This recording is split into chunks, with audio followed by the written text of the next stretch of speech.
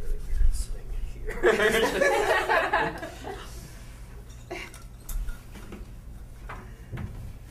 You'll let us know when we're going live, or we are live. Yeah. So we'll wait a couple minutes and Okay. Sounds good. sign here footsteps coming on.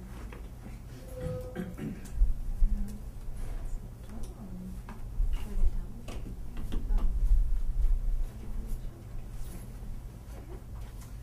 Oh. Um, great. This is the Many Voices Fellowship Info session. Thanks for coming. Uh, we decided this time to stream it live for New TV, so there may be some people watching us out there. If you are watching us and you do have questions for the question part of this session, you can uh, ask questions at hashtag Many Voices Info. So you can reach us there and we will respond immediately, uh, which will be exciting for all of us. So the Many Voices program has been changed. Um, Eric, have you ever been part of the Many Voices? Um, the Many Voices program has been changed, which is really exciting for both Christina, who Mhm. runs the program, and myself. Um, and um, I'm Hayley the associate producer. And I don't know if Christina, if you wanna Christina introduce- Ham, I'm the Many Voices Program Coordinator. Um, and the, the reason is that we were looking at the program and how we could better serve it um, moving forward in the field. So we had um, a really in-depth survey done and conversations done with leaders in the field, both here in the Twin Cities and also conversations nationally to sort of see where the program can go next and how best we could serve, um, serve the program. And what we discovered, uh, sort of unanimously, is that uh, in order to really help move the program forward, we needed to increase the stipend of the fellowship. So that has been really exciting for us. Um, this year, it's $5,650, which has um, been an increase from previous years, and we've now uh, been able to bump it up into um, 12,500, um, and 2,500 of that will be towards living expenses. Mhm. Um, so we are really thrilled to be um, able to work with the Jerome Foundation and to do this survey and to see what needs to happen in the, in the field. And Christina was very influential in, in that as well. Um, and another thing that really came up as part of the conversation was the idea that mentorship is really important. Uh, so in this change in the program, we're really focusing on mentorship. There's going to be a lot more opportunity to connect with uh, people who are further along in their careers in the field, um, and also with producing theaters. So we're going to have opportunities to meet with local leaders um, and also to go see theater and to connect with people nationally as well. So that's going to be an emphasis of the program. Mhm. Uh, feel free to come on in. Um, so those are a couple of the, the major changes um, as you see moving forward. And um, we have now the fellowship and the mentorship program. This is our second year doing the mentorship. Um, the fellowship program, mentorship is going to remain just for Minnesota writers, um, whereas the fellowship, for the first time in its history, is now being opened up to be a national program. So we will pick one person um, that is from here, from the um, Minnesota area, and one person could either be from here or can be a national writer. Mhm. Um, and similar to the way the program has always existed, um, selection happens through a national panel. Um, no one from the Playwright Center is involved in that selection process. So um, we are administrators and facilitators in that process, but not people who select the writers. Uh, so now, kind of moving forward, I think it'd be great, Christina, if you could walk us through the Mhm. application, and that way we can then open it up for questions, or here or elsewhere. Thank you. Um, both applications for the fellowship and the mentorship will be due um, on February 7th. So that's the deadline for both of them. Um, the el- eligibility requirements for the fellowship includes that you cannot have had more than one play produced. So that means that if it's um, a full production would include like having the actors, the director, the production team. All of those people have received money. A showcase wouldn't count as that um, towards a full production. Um, we're also accepting previous participants in the Many Voices program as well. So if you had previously done the program a couple of times already, because the fellowship program is so different, um, we are accepting applications to that program. Please join us. Welcome. Thank you. Um, so we are accepting participants who've been in the program in previous years since the fellowship is so different. Um, also, um, if you are accepted into the fellowship program, you can do the program again. So you're able to apply and participate again if you are accepted. So you have two times to do the program. Um, if you've ever been, for example, a core writer here at the center, or a Jerome Fellow, or a McKnight Fellow, for example, you wouldn't be eligible to apply for this program. Uh, the program for the Many Voices Fellowships are look particularly at artists who are at the more nascent stages of their career. So people who've been in Jerome's, McKnight's, core writers don't necessarily qualify for in that category. And we also ask that people who are in K through 12 programs um, are not eligible to apply for the program as well, or in college programs um, during that time. So, um, so someone who's a recent graduate would be like a prime candidate for something like this. Um, for the mentorship, however, um, this is mainly designed for people who are just starting out in playwriting, who are just starting to get their feet wet. They might be coming from a different medium, for example, like poetry or performance arts or that sort of thing, and are interested in um, learning more about playwriting. And so, for that particular program, we provide $1,000 in stipend support uh, versus the 12.5 for someone who's take, doing the fellowship.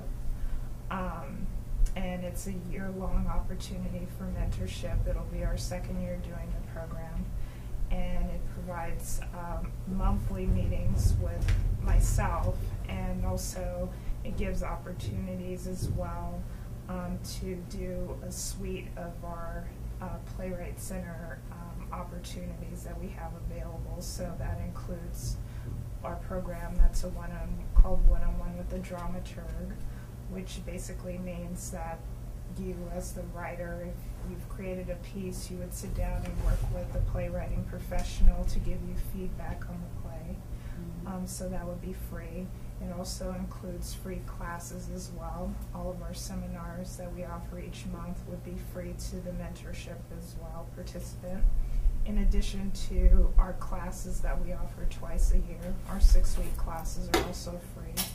And it would also include a member stage reading that you would schedule um, anytime during the year uh, to also do that for free as well.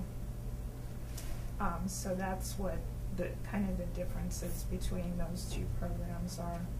Um, when we look at the application process for these, for example, for the fellowship, um, you can, we have copies of that here for you guys to take a look at as well. And what I'll do. Oh, hi, sorry, you're late. No, that's okay. Thank you very much.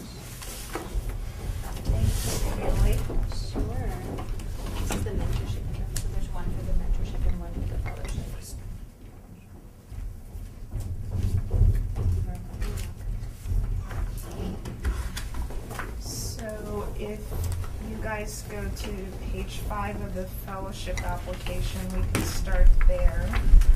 Um, so basically, what your packet would look like would include those following items. So um, when you go to our website, there's actually an application form that you'll find in the PDF format that you would fill out.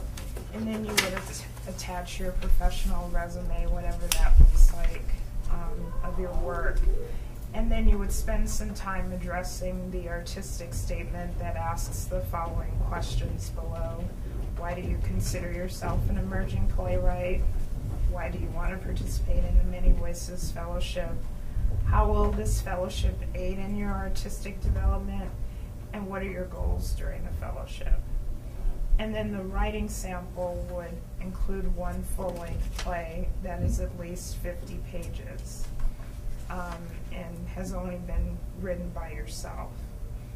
Um, so that would be anywhere from a one-act play to a, full act, to a full-length play.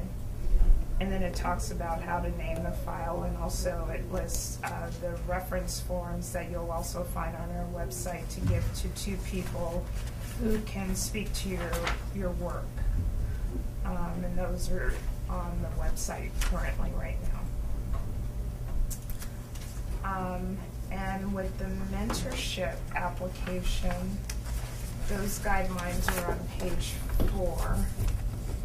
And I would say the biggest distinction, it asks similar questions in the artistic statement, but I would say the biggest distinction between this is the writing sample portion, because we recognize that the people applying for this particular program are not necessarily playwrights. They're coming from different genres, and so we want to recognize that by um, giving you an opportunity to submit different genres of material. So if you, for example, have um, poetry, fiction, nonfiction, um, screenplays, an excerpt of that, no more than three pages of any of those things um, would be submitted and to make up your application for the mentorship program.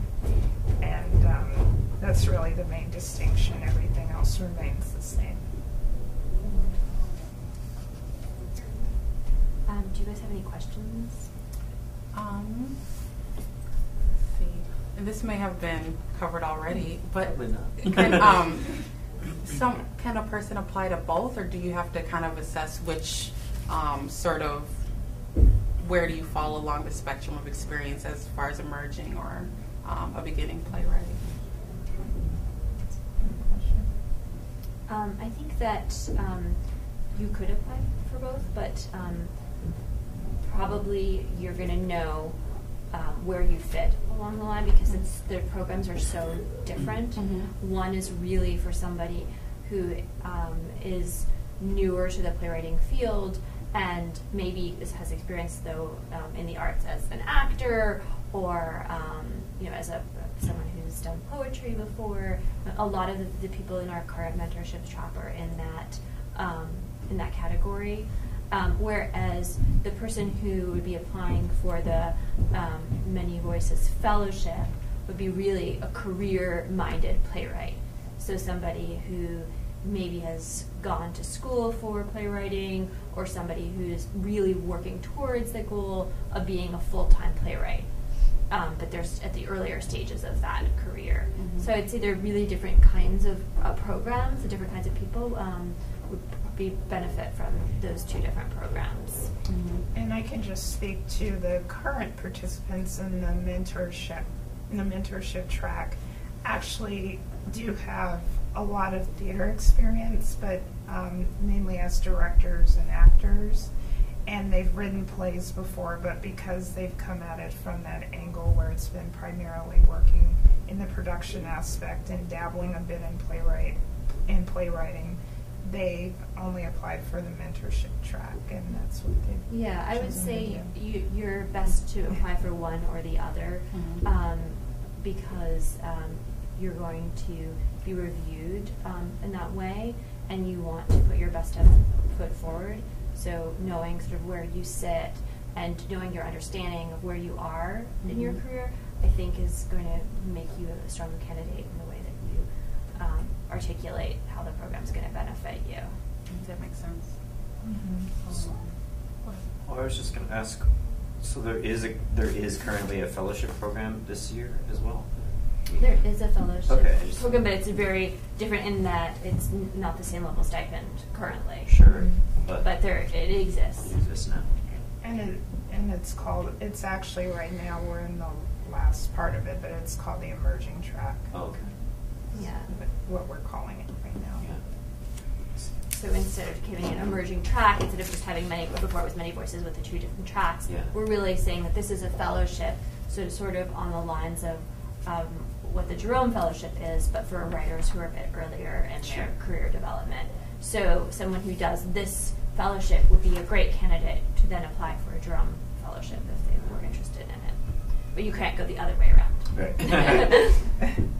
And I, I wanted to go back to your question again, just to also note that um, the people who are applying for the fellowship track, like Hayley said, are going to be people who are a bit more advanced in their play in their playwriting skill set. So, you know, if it's something where you're just starting out or you're still trying to figure it out, then just know that your sample will also be compared alongside those samples. So you want to make sure that you're giving yourself the best opportunity to be as competitive as possible. Mhm.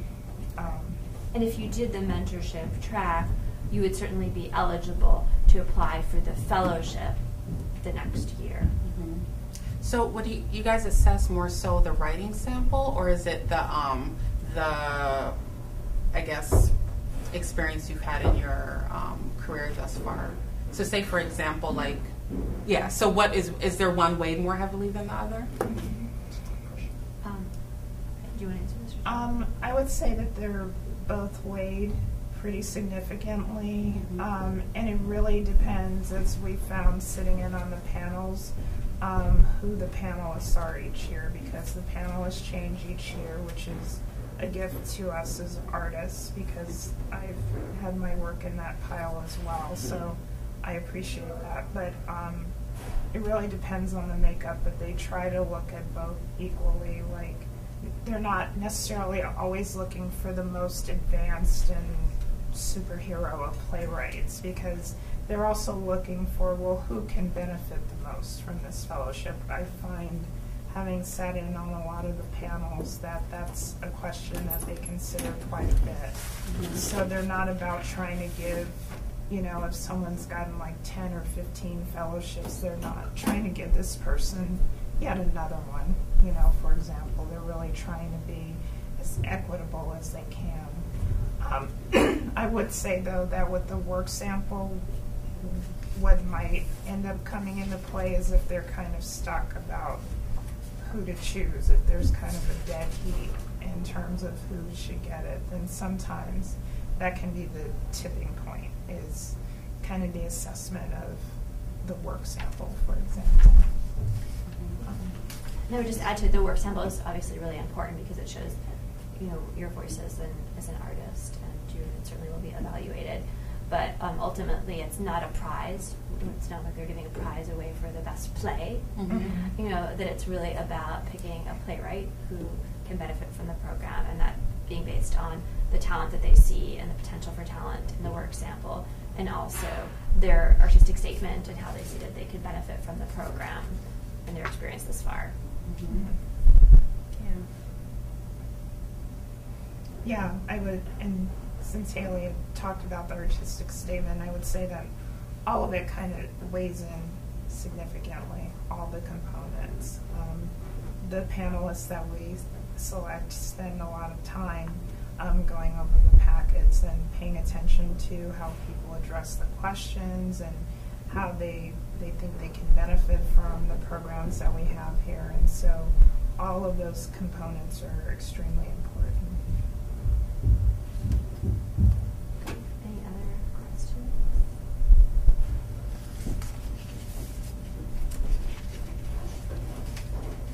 So, um, excuse me. Just can you just outline briefly the uh, differences between the actual program components? I mean, I know you're already kind of doing it, but between mentorship, I see the things that are happening there. But, what's the difference between that and what the fellows see? Obviously, the segments are different, but Um, um, well, I would say one of the, the big differences is the um, development funds also. So um, if you're in the fellowship um, version, we are expecting that you've written plays before and that you're going to be continuing to write plays during this fellowship year. Um, and because of the amount of the stipend, we're imagining that you're dedicating a significant amount of your time to writing. Um, whereas the mentorship, the, the stipend is a smaller amount, and so we know that you're probably going to have to have a full time job in order to have that, and therefore we'll have less time towards writing. So it may be that in the mentorship, it's more of a I'm going to try this new thing. Um, I may discover at the end of it I don't want to be a playwright. I may discover that I love this. It's exactly what I want to do. I'm going to spend all my time doing it.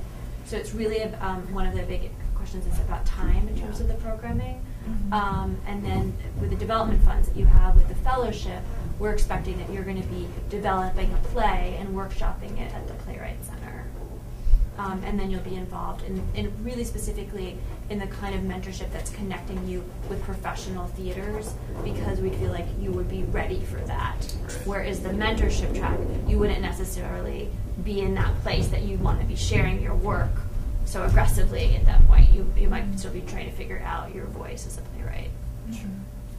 Um, so, for example, like if you, because I think based off of my experience, I'm perhaps certainly more so the mentorship. Mhm. Um, but say you wanted to like get support in either, I know they offer the stage reading, but getting connected with you know various, you know whether it's theaters in town or different theater companies that might sort of Mhm. intersect with your approach or your um, your style. Like, is there some sort of um, space for that within the mentorship as well? Or? Definitely. I'm, um, we are working right now with two of the mentors who are participating in basically coming up with an artistic year game plan for those things that they want to accomplish. So a lot of my time is spent in the mentorship track actively mentoring these artists who are trying to navigate like what it's like to be a full-time playwright actually carving out time for writing which they're not doing right now they're finding challenging whereas someone in the fellowship track has all I, that wouldn't be a conversation i'm having with them about carving out time every day to write because that's something they're already doing. Um, also, another thing that I'm working with the mentors right now with is um, putting together, working with Hayley to put together meetings with some of our artists who are already here, um, who they somehow feel an affinity towards with the projects that they're working on and feel like those artists might be a good fit for picking their brain about what it's like to be an artist in the field that they're in and just having conversations about that. So it's still making connections, but the what the the conversations that are had are very different because Mhm. they're at a very different stage in their in their career. Um, so there there's still that opportunity to continue to do that.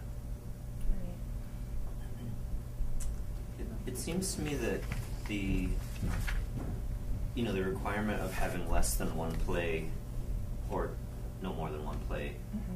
pro- fully produced, and then you know, focusing on people that are further along in their careers for the for the fellowship, they seem like a little bit at odds to me. But I understand like what you're saying in terms of these are playwrights that have written a lot of plays, but just have only had one produced. Is that? Yeah, I think from our experience in the field, it's actually quite difficult to get a play professionally produced, Okay. not just produced anywhere. I mean, Okay. when we talk about professional production, we're talking about people being paid. Sure, So sure. the playwright being paid, actors being, you know, et cetera, everybody kind of being paid, which surprisingly, or not surprisingly, is actually quite difficult.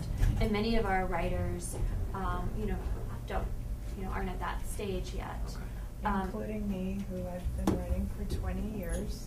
So yeah, so it's it's quite challenging. So when you say only one produced, it, you actually find out in the field that that writer could still be someone you know who is a full time playwright or you know is working as a playwright.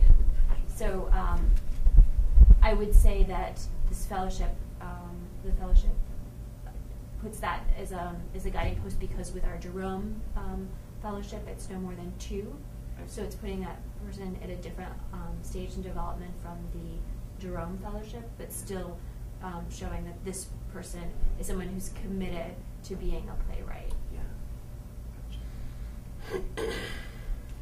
So, well, this might seem like it's splitting hairs, but um, and this is just kind of talking about like sort of the maybe someone's kind of understanding of the fullness of who they are as artists. You know, so say for instance you're very much committed to writing original works. Mhm. You know. Um, and being trained, you know, properly as a playwright to do so, but are also interested and involved in like the other elements of creating theater. Like, would that kind of somehow make you seem less of a purist as a playwright, or would it be just like one of the, you know, Mm, elements that you I create? see what you're saying. Yeah.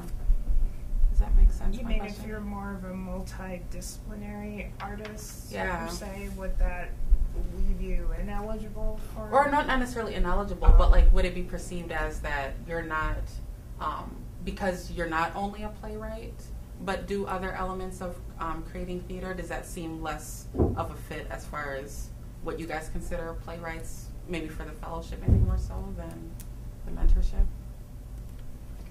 I don't think so. I think it's about the excellence of, of you're we're not going to, you know, the panel's not going to um, evaluate you based on your other um, pursuits. Mhm. The is going to only look be looking at you as a playwright. Okay. So if they see that the work sample is excellent, and if they see that there's a lot of promise, and they see that your goals and you've been working towards those goals are in line with the um, guidelines of the fellowship, then I don't think it would matter that you did other artistic pursuits. Okay, cool. Yeah, you guys just kept on saying playwrights or career players, so I just Oh, wanted to make sure that I understood that. Yeah. Okay, Yeah. thank and you. there's and there's in looking at the swath of our playwrights who are on either fellowships here or are members here, there's quite a few who um, have other disciplines that they work in besides strictly playwriting. Right. So that that Yes, wouldn't be that new wouldn't be to a- the p- No, yeah, one of our current fellows uh, is a puppet designer and quite excellent in that, but also is now, you know, working towards playwriting. And I don't think that the fact that she is a puppet designer also in any way makes her, you know, less strong a candidate.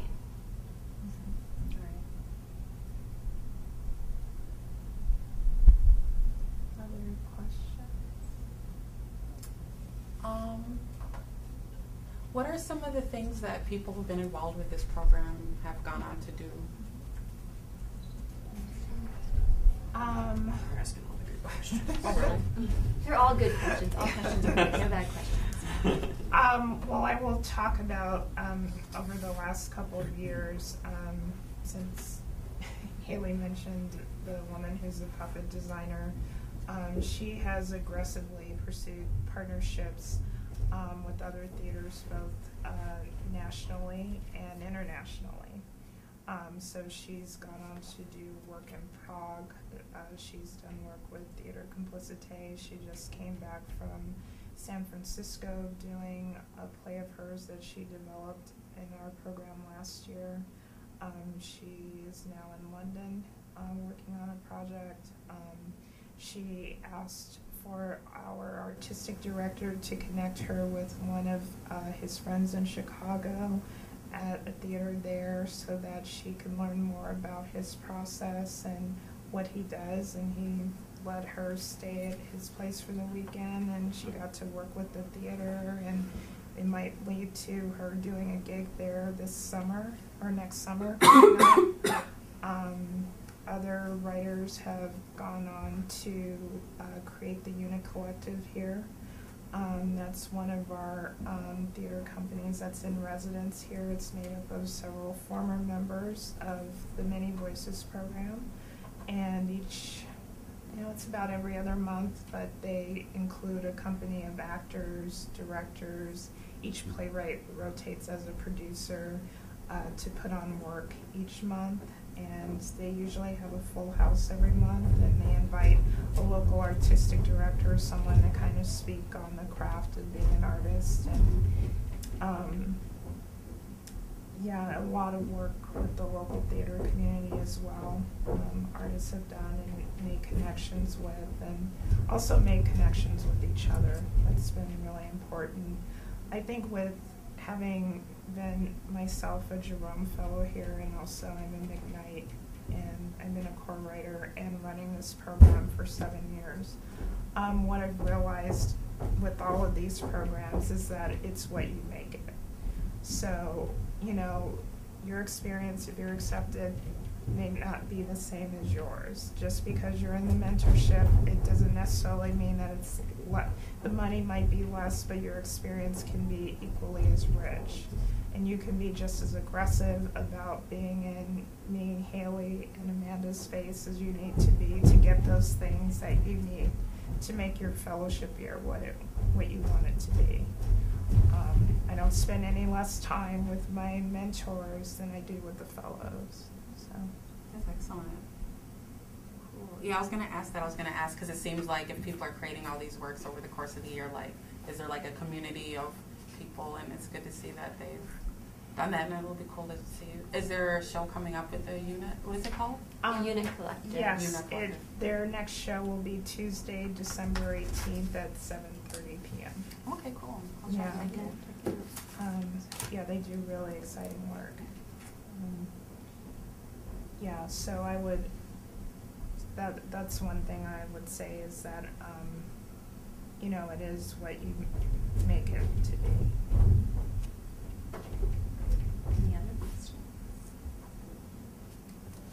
No? Well, I, um, my question was about the writing sample for the mentorship. Mhm. If you, if you don't see yourself in the, in the track for the fellowship, but you still have a play that you'd like to submit, it still needs to be less than thirty pages. Yeah. Could it be a sample of a play? Like, say if you have a play that's longer than thirty. Sure, Okay. absolutely. Definitely. It's really like a thirty-page uh, work sample, so Yeah. whatever you want that to be. Mhm. Um, any other questions? No? Anything you feel like we need to cut, we need to cover? I don't.